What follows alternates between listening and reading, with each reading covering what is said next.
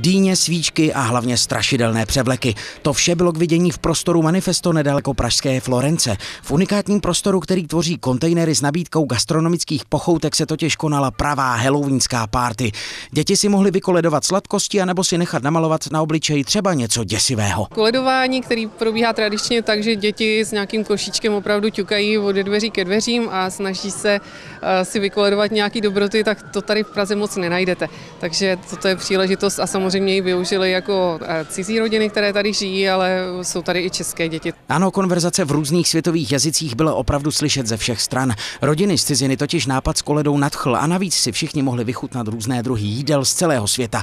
České děti ale nechyběly a akci si podle všeho užívali. Já jsem jako zpravodaj. Prohlédla jsem si zombíky, potom tady kostlivce a, a potom takový dým je hezký. Proč jsi sem dneska přišla? Co tady budeš všechno chtít zažít?